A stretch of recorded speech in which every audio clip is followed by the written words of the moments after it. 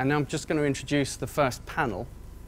Um, so the first panel is called Demystifying IP, How Important is IP to Tech Startups?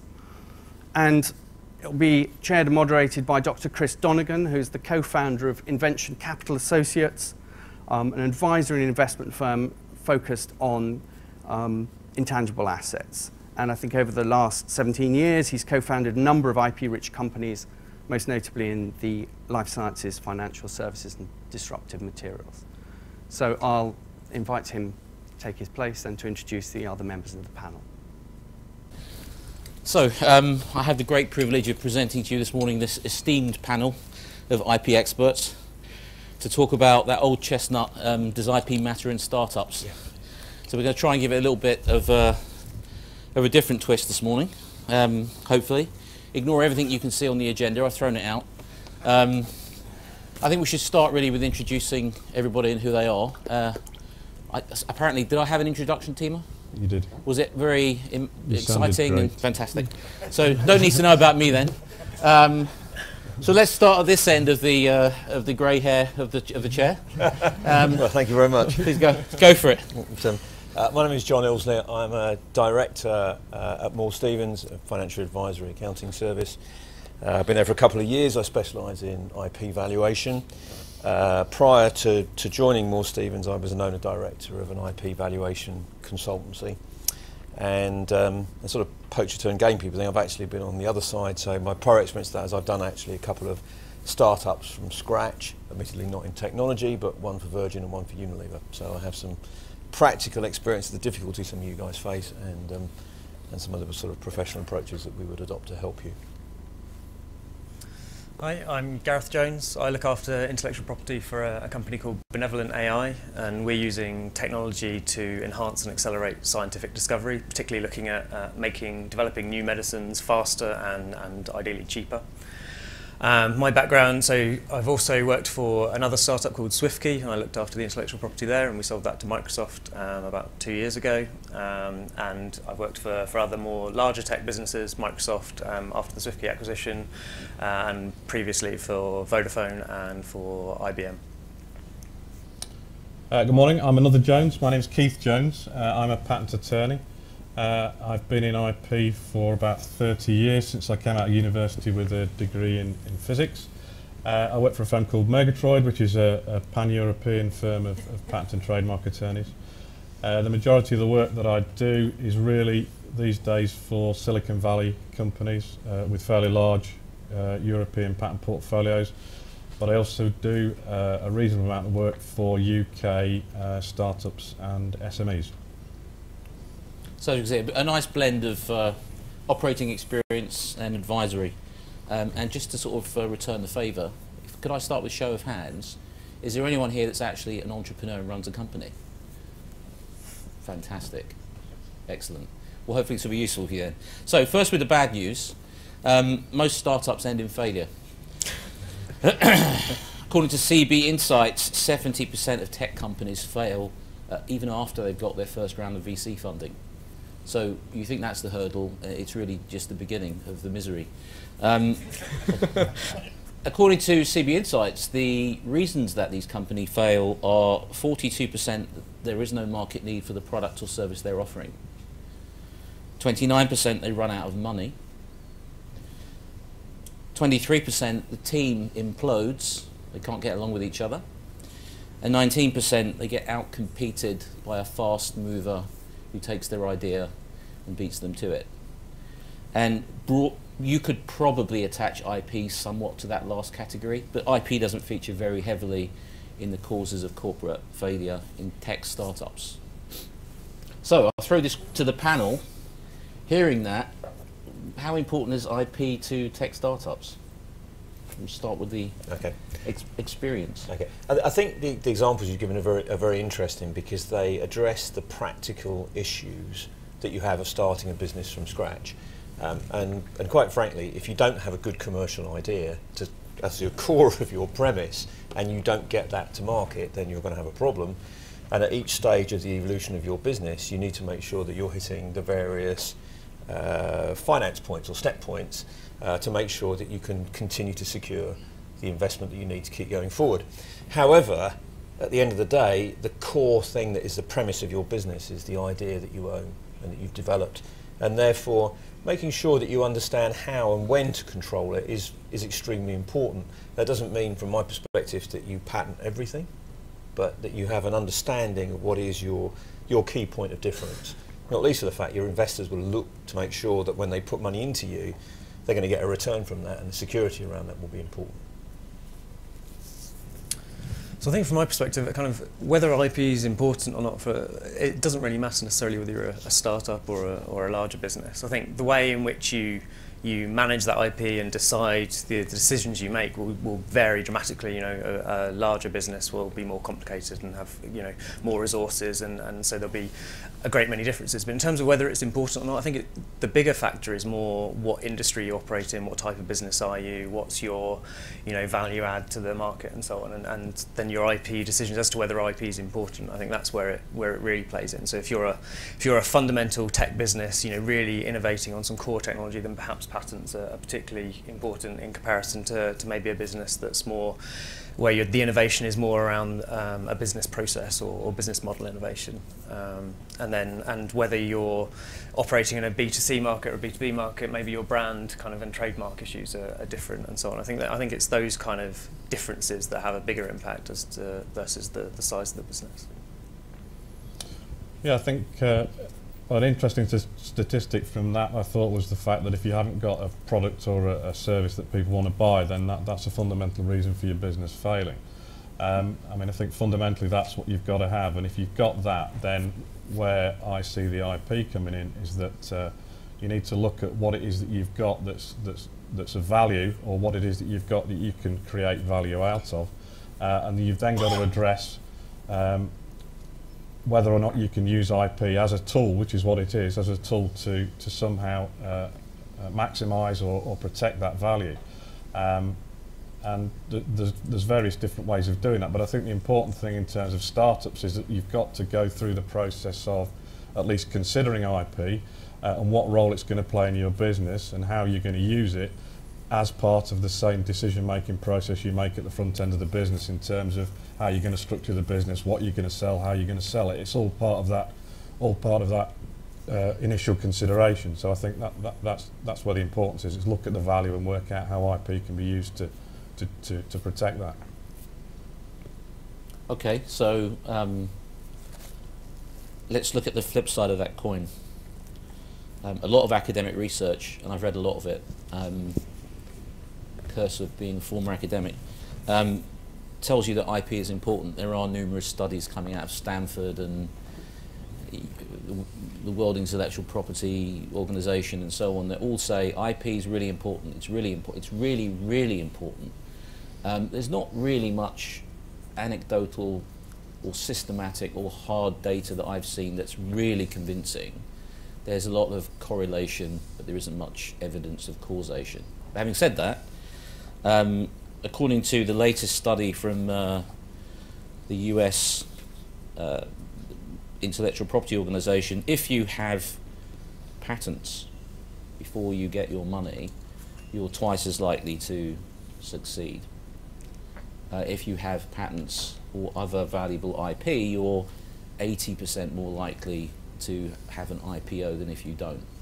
That's what these numbers say. I don't know what they, if it's true or not, but that's what they say.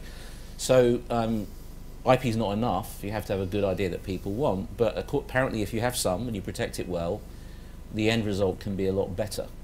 Now, I've got a couple of anecdotal um, examples that I could use, but I wonder whether if we start at this end of the panel, or in fact, we, why don't we start with our practitioner? I, am guessing that your IP was pretty valuable when Microsoft came calling. I like to think so. um, yeah, I mean, so I mean, we, we spent a lot of time kind of thinking about the IP strategy at SwiftKey and, and you know trying to work out what made sense for a business. And when we were thinking about you know exit strategy for the business, if that looked like an acquisition, what might be appealing to potential acquirers, and so that, that absolutely factored into to those assets that, that we created, and we had a, patent portfolio, a trademark portfolio, and, and a bunch of other kind of IP rights associated with the business, and, and yeah, absolutely they would have factored into that that whole transaction. was there any actual value assigned to them, or was it, was it a significant part of the negotiation? Or if you can't say because you signed an NDA, then that's, that's fair enough. Yeah, so I can't talk about the specifics, but but certainly um, they were. Uh, it wasn't so IP absolutely wasn't the driver for the acquisition. You know, there's there's a, a number of, of drivers into to what why that the SwiftKey business was useful to Microsoft, but it certainly played a big part in in the whole kind of negotiation discussion and so on, and and obviously the the due diligence and so on. IP kind of was a big big factor in that. Keith, what's your thoughts on this? Uh, yeah, I mean, just going back to the importance, I think one of the, the organisations you're talking about stressing the importance, I'm not necessarily sure that they're saying that you've got to have IP. I think what they're probably saying is you need to think about IP, and I think that's where a lot of people are falling down because they're not thinking about it in the first place. So I think you at least need to go through the, the, the, the process of it. Um, in terms of personal experience, I mean, I'm working with a company at the minute who's building a huge patent portfolio. Um, purely because uh, it wants to make sure that it's going to maximise its exit value when it sells up in two or three years' time. Um, so I think you know that's the way that IP does play a role in the same way it did with SwiftKey. Uh, well, from, from, from my perspective, and I suppose it's partly coming from working in and around the corporate finance team uh, in, in, an accounting business, um, that you know, when, you, when you look at value from an investor's point of view, a, a core component part of the investment process is what risk is involved. And if they're doing typical, very boring accounting models to do that, you actually try and quantify that risk and it has an impact on value. Um, and, and therefore, in, from my perspective, there is no doubt that when you get to that process, you know, investor is looking at you. I don't think he's really looking at. It, this is a generalisation. He's not always looking to, to get hold of your patent, but he wants to get hold of your business. And if your business is in an early stage, you don't yet have that uh, you know, credibility of being a major brand or significant sales, what is he buying? You know, he's buying of the future potential of your business. And the risk for him, once he's actually assessed that the business looks to him as if he has value, the, the risk to him is significantly reduced if he believes that the company can protect its asset going forward. Now, that might sound a bit negative, but that's why I actually think for the right businesses, it's incredibly important. And I, and I certainly agree with what you said, because there'll be some other businesses where, quite frankly, I'm not sure I would believe that patenting is actually the right thing to do, and I would also warn. It's like war story here. Sorry. Uh, you know, I, I, would warn against inventor uh, arrogance or egotism in the belief that you, know, you patent everything and therefore you generate value from those patents. And I've working with a client at the moment who's done that, and quite frankly, 95% of them are completely worthless. And he's spending far too much money, of limited money, on renewals. So it's really a question of horses for courses and understanding your business. And I, I couldn't reiterate more what's already been said by the panel. You know, when you're in an early stage of a business, you know, things change incredibly quickly. And you, you, you might have a great idea, but you can't predict how the, how the customer is going to move, how the market's going to move. The most important thing you have to do is have a pretty clear vision of where you're going, but you've got to be pretty flexible along the way. And understanding where your IP fits into that strategy is really, really important. And don't, you know, have a good, have a good idea, but don't set out, must do this, must do this constantly reappraise your business, as you will have to as a startup business to be successful. Yeah, I think I think from an investor perspective, I guess it's more about being able to tell the right kind of story. You know, it's exactly right. You're selling yourself and your idea. Exactly. An investor, as you say, will want reduced risk and they'll want increased value, and it's kind of what do you do to be able to tell that story the yeah. right way? And if yeah. that's to, to protect nothing with IP rights, then maybe that's fine. But as yeah. long as you can back up either way, yeah. yeah. Okay, so that's very interesting because when you look at these studies, I'm going to read you a quote. Winning a first patent boosts a startup's subsequent growth and innovation by facilitating access to funding from VCs, banks, and other investors. Um, there's a panel on this this afternoon, which um, I'm involved in, and I've spent quite a bit of time over my career dealing, talking to investors and VCs, and my, a common realization is that there's a box that you need to tick if you want money from those people. And one of the boxes says, do they have IP? And if you don't tick the box, your probability of getting money decreases. But outside of signaling that you might have some IP irrespective of its potential worth, and the IPR rate on tech patents, as we know, is extremely high. So many patents are found invalid even after they're granted. Um, are there any other benefits to having IP that aren't hard benefits. So if I talk to an IP or a patent attorney, they'll often tell you freedom to operate, you need to protect yourself, you need to be able to stop others infringing your patent, your, your business. But actually, does it help with recruitment? Does it help with positioning? Does it help with all the soft stuff that might be more important early on in the business? Or is it a bit of a distraction? If you don't want VC money, does it matter? It has tax implications in the UK as well.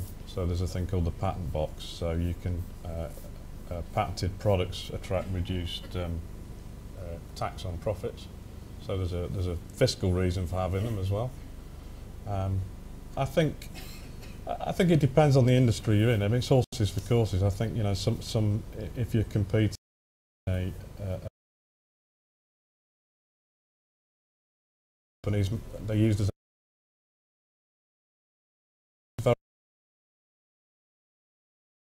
industry you're in and the type of thing you're doing. I think um, I, I don't think there's anything particularly measurable in terms of you know employee returns or anything like that. I mean, I'm sure employees chuffed to bits when they get a patent granted, and that has a, has a positive benefit, and the, and the company likes to see them. But you've got to weigh that against the cost, I think. Yeah, I think sometimes some of the IP work you can do can help to drive other things. So talking about recruitment was interesting because that, that made me think. Well, one of the things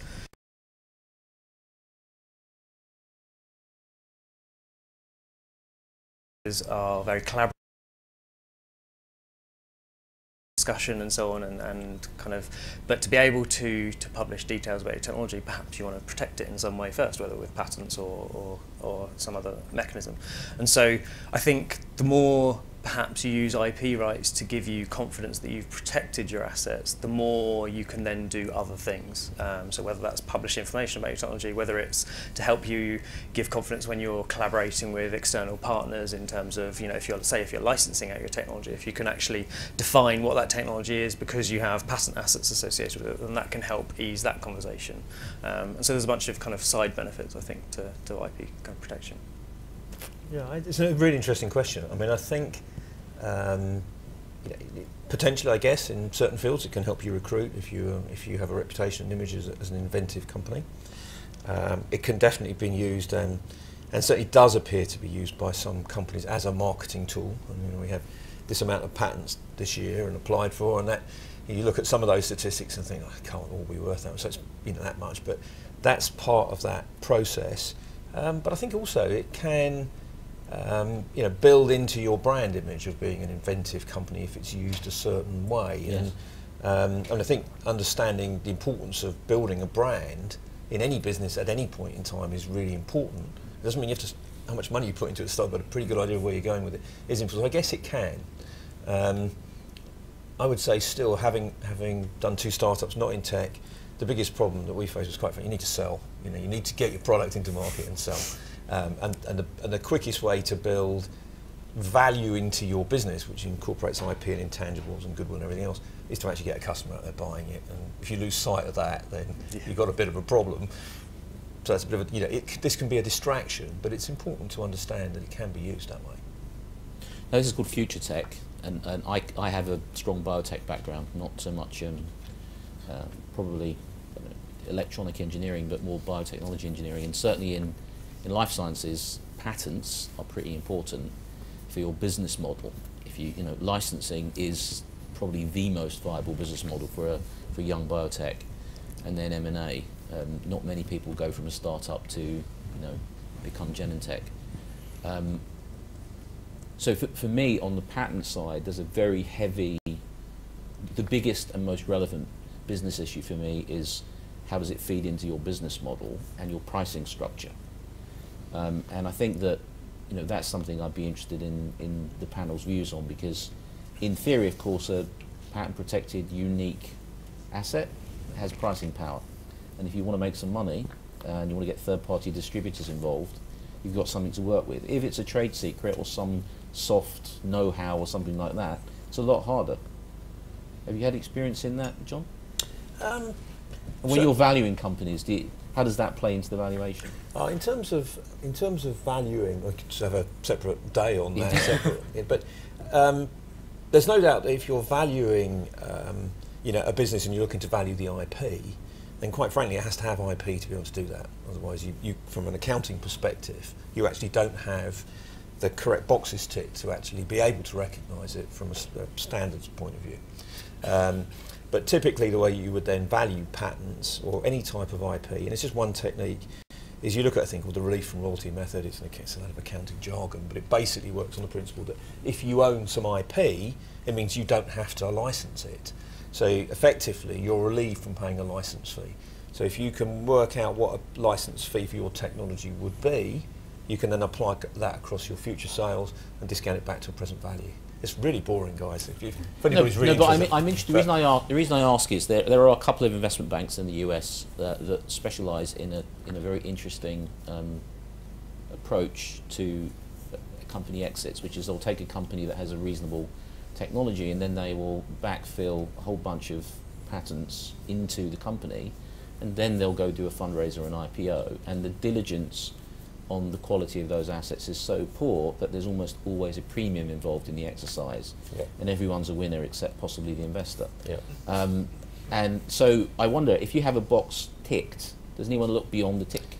Um, I think it's. I mean, I think it's. I think it's incredibly difficult to do good due diligence on patent portfolios. Quite frankly, um, it's quite simply because there can be so many items within it, and you know that the fact that a patent exists doesn't mean that it's valuable. You know, that's that's a, a sort of core premise from a valuation perspective, but also from just a business perspective. It, it, it basically protects an idea, and if that idea isn't valuable in itself, Right. neither is the patent. Right.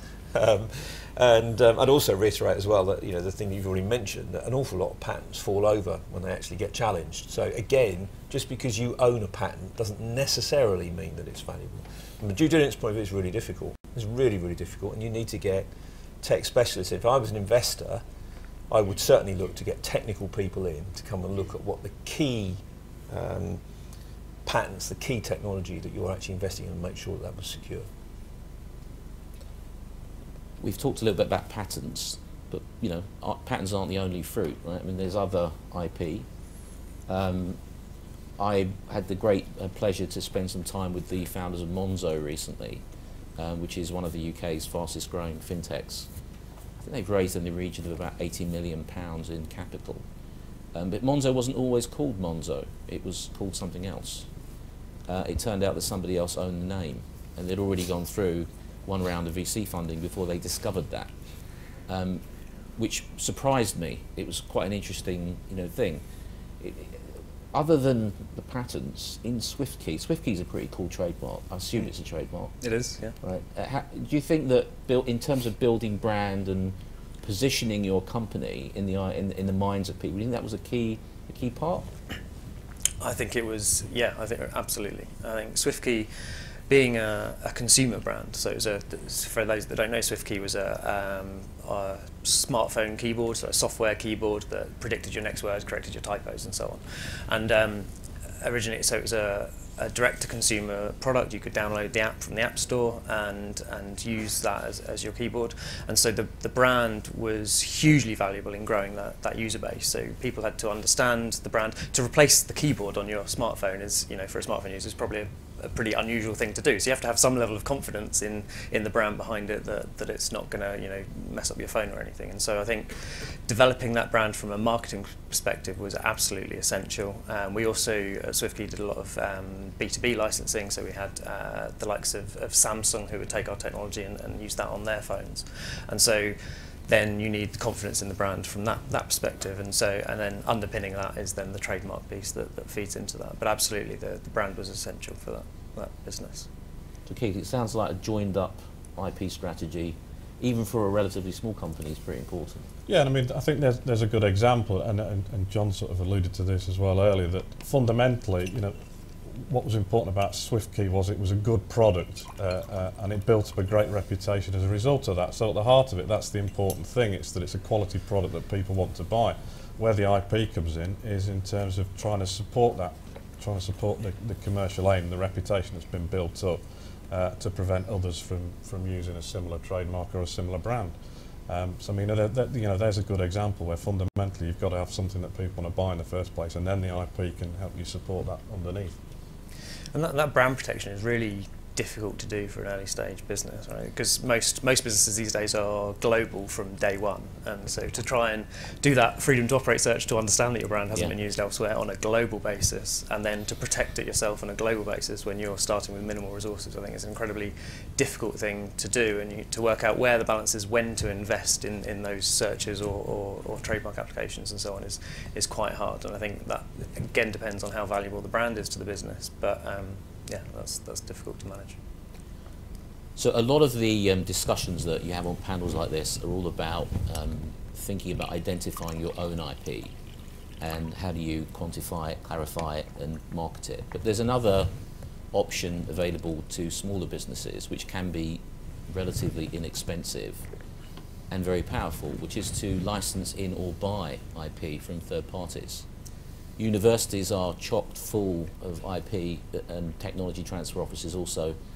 My apologies to the tech transfer offices, but I have a very dim view of their ability to commercialise their IP, um, no matter how many LinkedIn posts they, they make.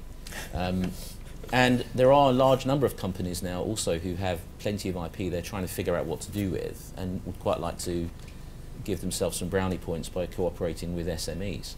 Um, in terms of um, IP strategy, um, Keith, have you have you seen any of that happening yet, or, or is that the exception rather than the rule?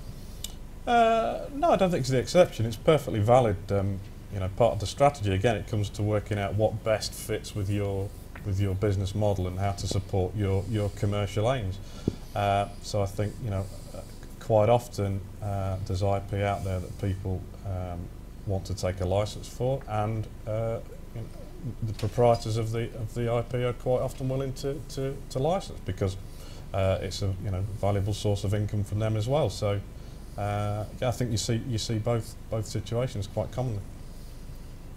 And um, John, do you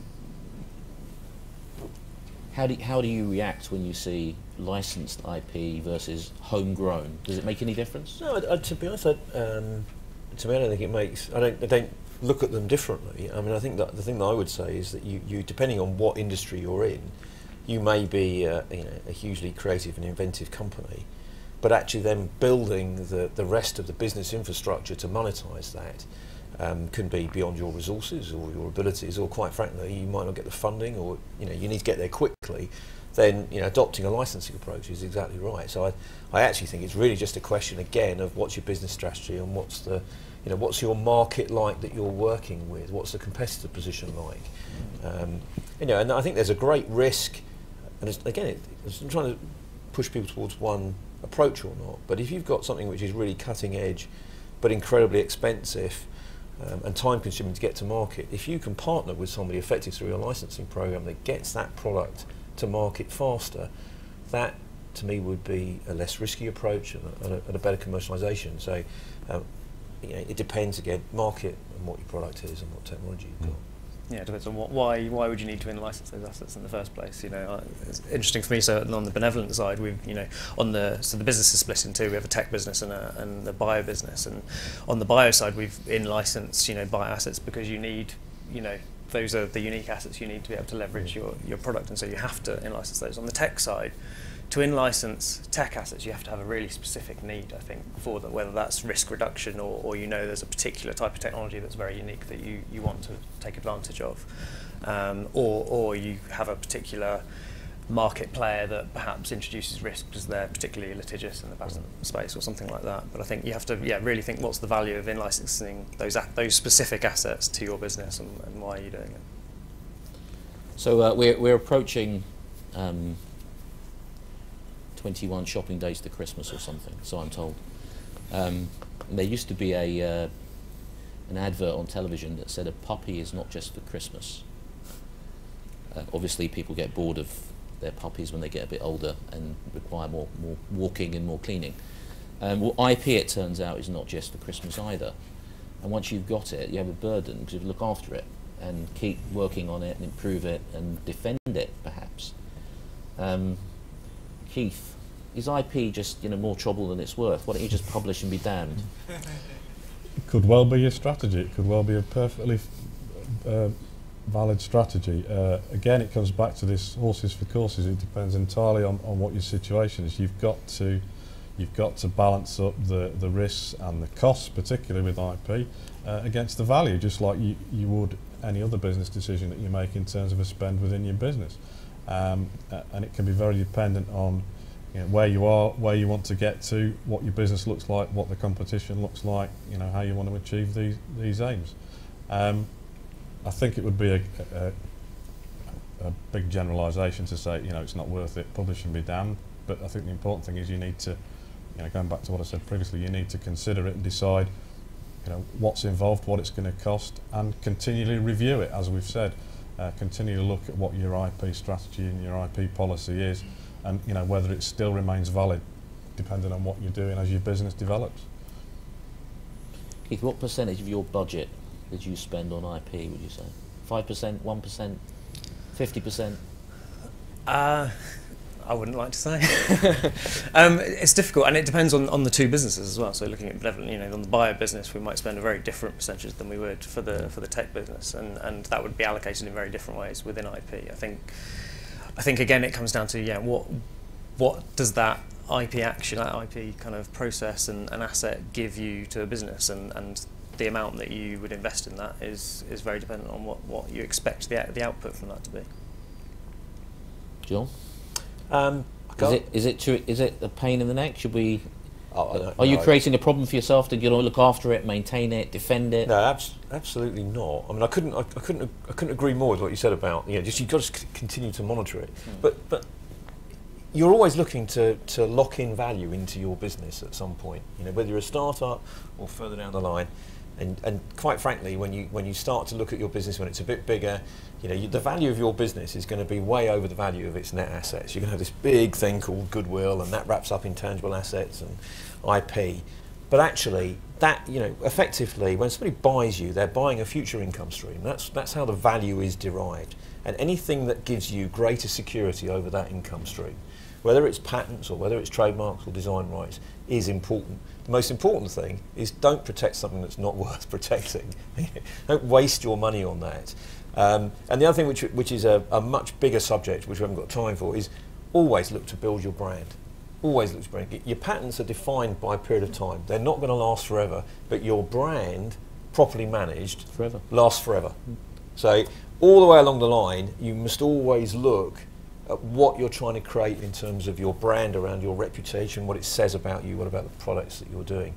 Um, it's not devoid from the reality of what you do. I mean, I, I mean, you know, I, I set up a new business for Richard Branson many, many years ago, and that was the era when, when Virgin, uh, well, Richard would describe himself as a branded venture capitalist and put the Virgin brand on all sorts of things. If you actually look at the place now, not many of those businesses are still around, and that's because actually you can't separate the brand from all the other things. But if your brand is complementary, it flies. You know, so that would be my advice. And oh, It's always valuable. Just make sure you know which bits are valuable. I think from a from a startup perspective, one of the difficult things is that, I mean, by definition, a startup is still searching for a repeatable, scalable business model, and so they're going to change what they're doing quite a lot. Whether that's Right. changing the technology, changing the, the business model, changing the you know the the way in which the business operates, who the customers are, and I think trying to then you know align your IP strategy with something that isn't necessarily well defined or might change very quickly is, Yes. is quite hard. And so I think flexibility tends to be the, the key thing. Um, so you need to operate with minimal resources to try and kind of predict what the future is, and then and just it's yeah, it's a difficult difficult thing to balance. But I think, and I think that's particularly hard for startups versus kind of more mature businesses. It's a very good point. Um, just so I'm on track with timing, is there a man with a crook? We've got 15 minutes left. Oh, excellent. Okay, so um, let's get. I'd like to get into that a little bit more actually. Um, when's the right time? Now, I know we said, oh, it's important, company setup and so on, but, but given what Keith just said, you know, I've been involved with any number of startups, and quite often you change your business at least three times in the first two years when you have contact with the market. So um, surely you shouldn't be worrying about your IP during that period because you're just going to waste money on things that are no longer relevant to your core proposition. Isn't that? You know, Keith, do you, do you do you say to people when they come to you, "Don't come to me. I'm a patent attorney. Go home. Come back later." Sometimes, yes. Yeah. Um, You're the only patent attorney I've ever heard say that. I think sometimes you can see that there is no value in somebody spending money on, say, a patent. Of course, you know, we're talking very much about patents, not forgetting all the other IP issues and you know uh, uh, things that are to do with IP. Um, quite often, businesses at too early stage. I mean, they, you know, they may not have even developed a prototype. Say, uh, they've not even actually reduced the thing to practice. Um, and of course, there's a huge difference, as we said at the beginning, between coming up with a great idea and turning that great idea into a commercial, marketable business or product that people actually want to buy. There's a, there's a, there's a massive difference between them. But for example, in the US, there's a first to file process. If you don't file, you've got nothing. So waiting seems dangerous. And we're talking about global businesses. Right? The, th- the, probably the US is a big market for them. There's always a balance to be struck between, if you're looking particularly at patents, there's always a balance to be struck on, on the timing between, uh, when have we, when do we know enough about what our invention is, say, and what we're going to do with it, uh, as compared to if we wait too long, somebody else is going to beat us to it. There's always that that, that difficult judgment to make. I mean, th- there are ways around that in that you can file early patent applications that you don't actually take any further forward. There's still a cost implication because you've got to get those applications prepared and filed, but you don't necessarily have to carry on with them. You can ditch them and start again. Um, and, you know, and there can be various strategies like that for approaching it. But it, there's no there's no magic answer, I'm afraid, to this is the point in which you should go for it because it, again, it can depend on all sorts of things. Um, but you know, the, the, the sooner you take advice uh, and you know build up your knowledge based on what it is that you want to achieve, then the sooner the, the more informed decisions you can make. I think that's is the, is the real answer. You'd also- oh. I- I'm curious, between your new company and your old one, have you learned anything around this sort of area that you're applying? Is there some change in the way you think about it as a result? Um, so I mean, the, the two businesses are very different, so it's kind of hard to take lessons from one from the, from the other. But there's there's certainly some. I guess um, one of the things I always think about with startups, if, especially if you're if you're a tech startup and you're developing really fundamental, innovative technology, then actually the ideas you have at the earlier stage are potentially your most valuable if, if that technology does go on to, to stay. And so at the time that you have least resources, you potentially have the ideas that you want to invest most in, in protecting. And that's again comes down to that trying to predict the future kind of kind of balance. And I think that's quite difficult to to do.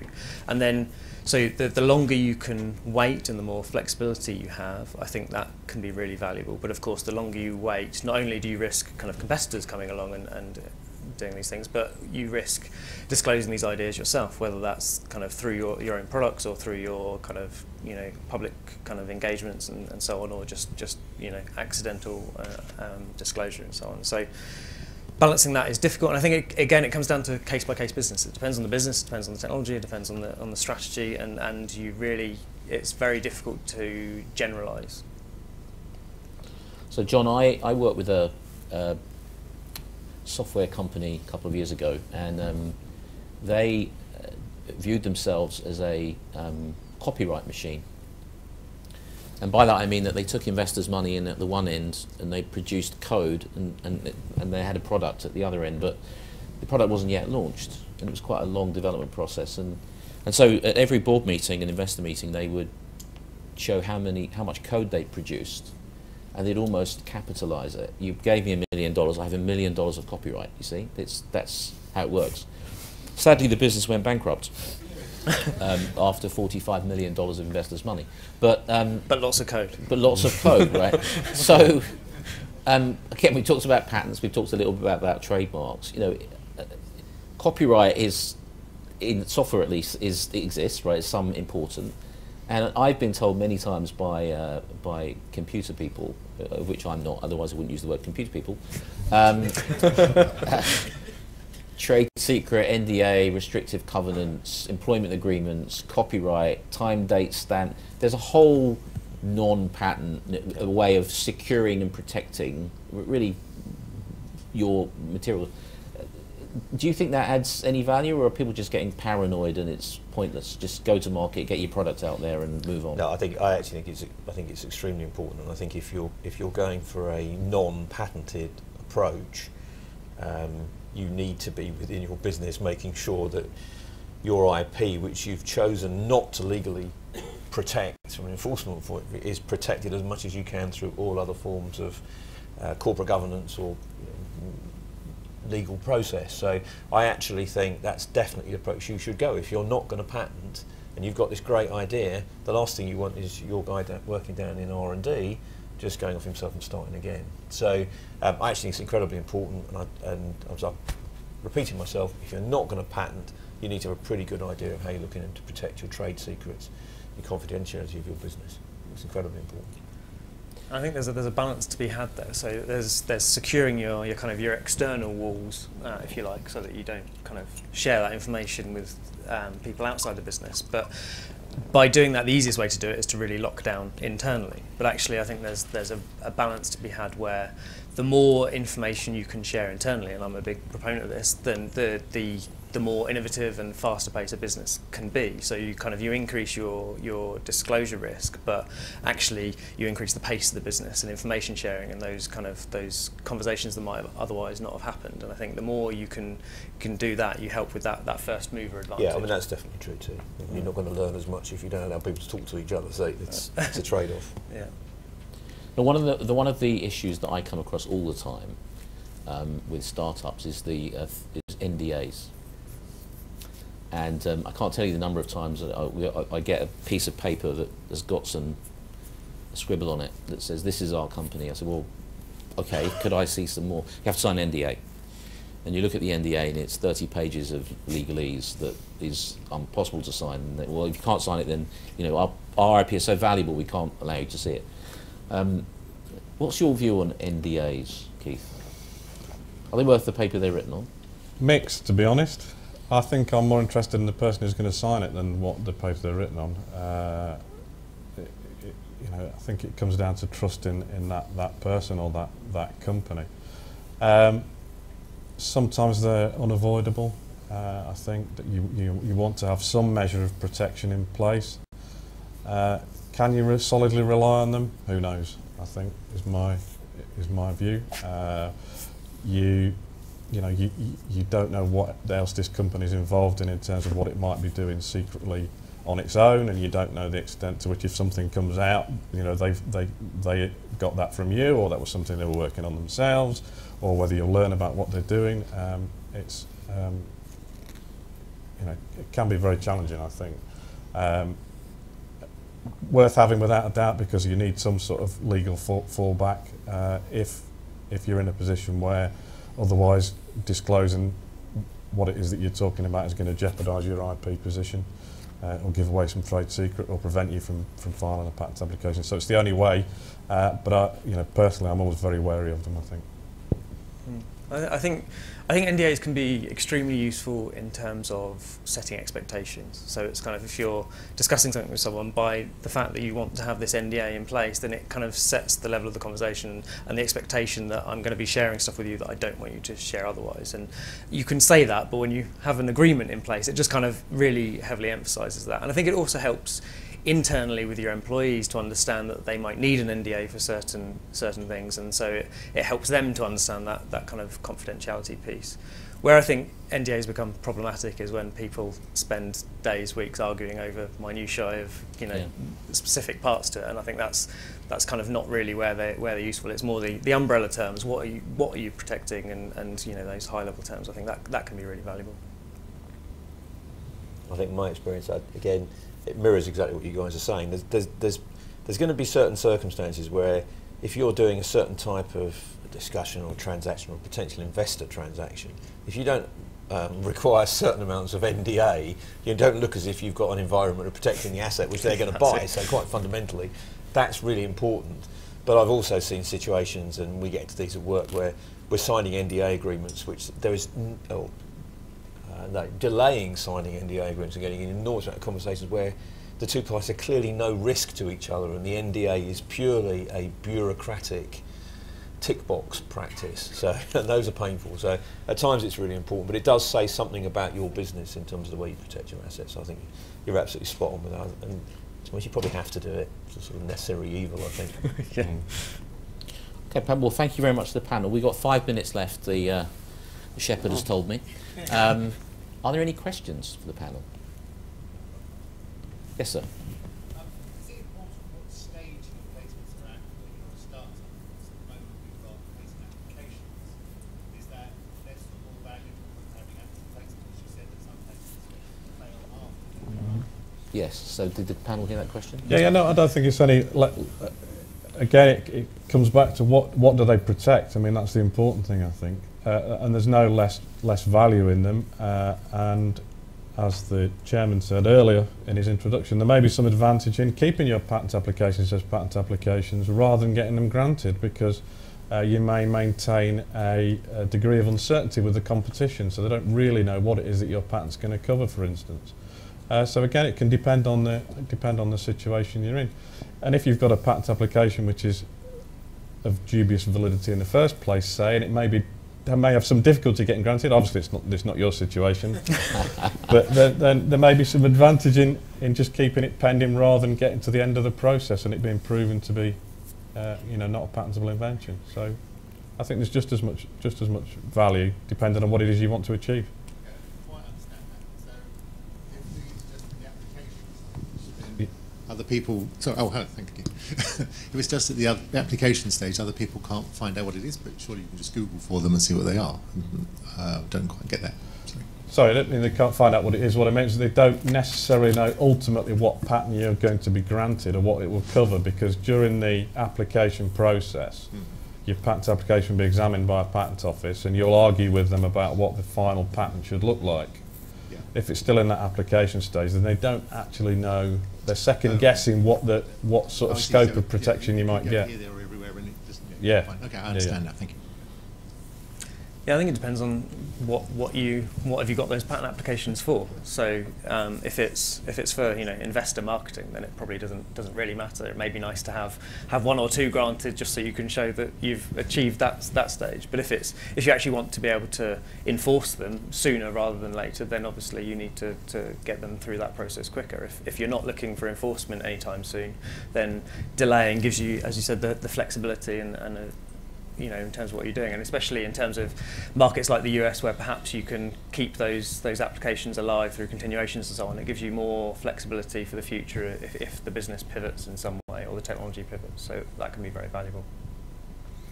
Uh, I think I think from my perspective, if you were looking for inward investment, um, I would perceive a, a, an approved patent as more valuable than an application.